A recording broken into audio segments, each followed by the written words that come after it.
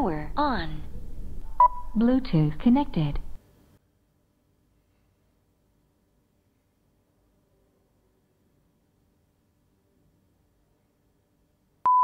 Now in this video I'll be reviewing a headphones which apparently seems to fare better than high-end product brands like Microsoft and Bose, so keep watching.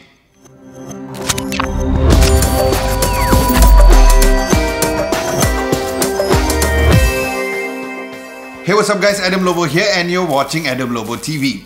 If you guys are new, hello and welcome. Do consider subscribing to Adam Lobo TV as I release high quality tech videos every single week, sometimes twice a week. And if you're returning as a subscriber, welcome back guys. Now there's so many high-end noise cancellation headphones around today, but what makes it a really tough decision is to choose which ones to get. But when I got myself the Sony WH-1000X M3 active noise cancellation headphones, I was really eager to try it out, especially with all the hype that is going on about it. Now the unboxing experience of this headphone was gold as the box comes mainly in white with textured finish to the box and the visuals of the color of the headphones right in front. Then you'll find the model number to the left, Google Assistant down below, along with other features there as well. Now looking at the back of the box, there is more specs over there and what comes inside of the box. And you'll also find all the different audio qualities available for the headphones. Now you will need to slide the box to the left where you will find the setup instructions. Then you'll see a really nice carrying case right inside with one side on the netter fittings and a nice copper zip and a hook as well. Now unzipping the carrying case, you will see the headphones nicely tucked inside. Then you'll also find a 3.5 to 3.5 mm headphones cable, a short USB A to USB-C cable, Sweet and an airplane adapter which is really nice. Then below the headphones there's also a cardboard which tells you the control features of the headphones. Then finally at the back inside of the box there's more user guide and manuals as well. Now in terms of the build of the headphones, it is made of hard plastic material and the headband is also really sturdy and it has a really nice added padding with no pinch at the crown area of the head and like most headbands out there, it is also adjustable by pulling up or retracting it back down to fit on your head. And it also has a really nice comfortable ear cups which is made of high quality soft leather and it covers my ears perfectly since this is an over the ear closed headphones.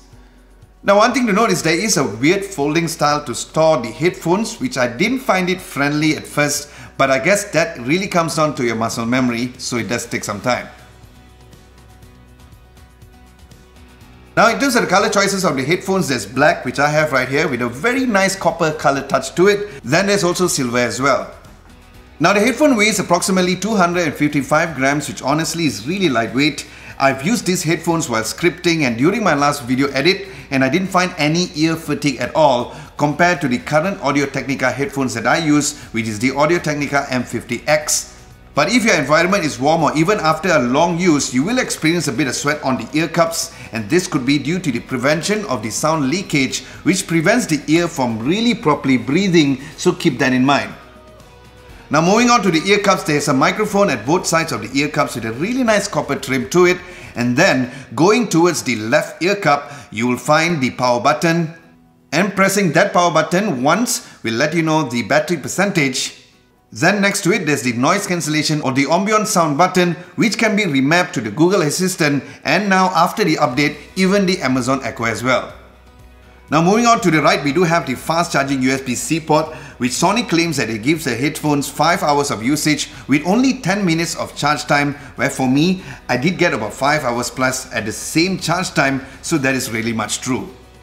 And speaking again on the battery, it does fully charge at 2 hours and 20 minutes which is supposed to last about 30 hours. But it got me 2 hours plus with music up to maximum volume with noise cancellation on which was still really impressive. Now connecting the headphones is pretty swift. It uses Bluetooth 4.2 instead of Bluetooth 5.0 which was quite weird especially since lower end Bluetooth headphones already have Bluetooth 5.0 and just so you guys know that you can't pair these headphones with more than one device so you can't switch between several devices which is an obvious drawback. Now to pair with your phone, you will need to have your phone's Bluetooth on and then press and hold the power button on the left ear cup and then you'll hear a voice prompt which says Bluetooth pairing and immediately the noise cancellation will be switched on on the headphones. Then in the phone, choose the headphones in the list. Once connected, there will be another voice prompt which says it is connected. Then the Google Assistant will pop up as well to set up the device, which was really cool. Then you'll need to allow all permissions within there and you'll get the headphones info over there. Next, go to the additional settings and then hit the Headphones Connect app where will prompt you to download the Sony Headphones Connect app which is available for Android and iOS devices. Now if you guys are running on an Android system device with NFC, you can always just tap the headphones by using the NFC connectivity function to establish pairing. Now here's a quick walkthrough of the app. You do have the adaptive noise cancellation which will detect your surrounding whether you're staying, walking, running or being on the public transport which is also very unique and nice. Then there's the noise cancellation optimizer where there will be a bunch of weird melodies played on the headphones to optimize your current area. There's a sound position control which I left it at default. Then there's further surround VPT settings where you can change between different environments. Then there's the equalizer settings for the custom and other presets in there now one thing to note is that whenever you change your EQ settings, it will change your sound quality from aptX, so keep that in mind. Then there's also a now playing area based on what songs being played. Below that there's the sound quality mode to prioritize on sound quality or stable connection where I choose the sound quality option. Underneath that there's the change function and this is to remap the noise cancellation and the ambient sound control button to change to ambient sound control, Google Assistant or Amazon Echo. Then there's the automatic power off button to turn off the headphones on a selected time frame. Now controlling the music is based on the touch and swipe motion which was really responsive. You can swipe up or down to control the music's volume and then you can swipe back or forth to change the tracks and you can double tap to pause or tap to answer phone calls. And since I'm also a fan of Google Assistant, these headphones allow me to access that too by tapping on the noise cancellation button as mentioned earlier once, where it will read your notification on the phone. Message from William and three other updates. William says, haha Hanola it's cool. We can always catch up another time. Then if you press and hold the same button, it's like having a Google Home where other than asking typical questions, you can also control your smart devices as well, which is super duper cool. Turn off room AC. Sure, turning off the room AC. Now as for additional features, you have the ability to poop your poop. Huh? Now as for the additional features, you have the ability to put your palm on the right ear cup and have it use the built-in microphones outside of the ear cups to allow some of the ambient sound to pass through while lowering your music volume so you can hear and respond to people around you and here's how it sounds.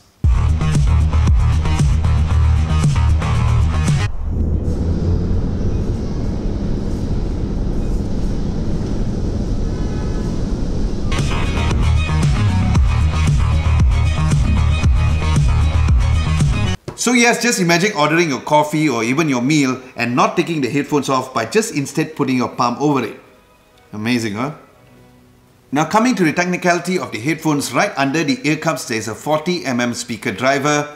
Now Sony has included the LDAC other than the aptX HD, which also means that it offers the best and the clearest wireless audio transmission at the moment. But of course, you will need a device which also supports the LDAC connectivity, but usually phones with Android 8.0 or higher will work pretty fine. Now honestly music coming through these headphones is great and being a music guy I've tested this in different genres and I must say that it does give a very well balanced sound quality even at its flat EQ settings. Now I started off listening to Deadmau5 My Opinion and the synth effect at the beginning sounded really nice and once the beat kicks in I felt the bass just nicely vibrating on the headphones and around the ears without overpowering the music. Then I switched to Astral by Pyramid where the surrounding effect was really great and once the bass guitar comes in, it sounded really warm and nice and it complements the beat. Then I switched to Post Malone's Sunflower and the surrounding vocals was really clear coming from different directions within the headphones and the vocals in dead center. Then listening to Fresh Seamus version of Ain't No Mountain High Enough was also really nice especially when the EDM beat comes in throughout the whole entire song. Next, I tried listening to Isabella Salender's Stargazing, and here's where I felt that the highs could have been a bit better. You can always tweak it according to your liking, but overall was good. And yes, as a metal genre fan, I finished off listening to Killswitch Engage Curse and the electric guitar effects and the distortions was really nice and clear and the vocal and the kick drums were perfectly balanced but there were times where the bass guitars were overpowering the kick drums but this could be countered by adjusting the EQ once again to the bright EQ preset as Sony wasn't really good at producing great sound for rock and the metal genre. Now as for phone calls, they were great with both sides hearing each other well, but the other person sometimes heard some additional background sound since there is a very powerful microphone on the headphones so keep that in mind. And of course, watching videos on YouTube and movies on Netflix was also great without any latency or delay of the audio video performance and coupled with the amazing Dolby feature with my Samsung Galaxy Note 9, it was a really great experience. Now the overall noise cancellation was great as you can adjust it very accurately within the app as I mentioned earlier so get your headphones on as this is how it sounds with the active noise cancellation and also the very interesting ambient sound mode as well. Ambient sound.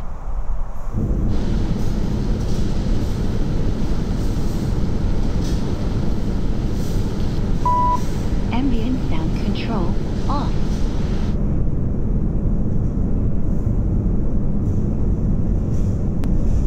Noise cancelling.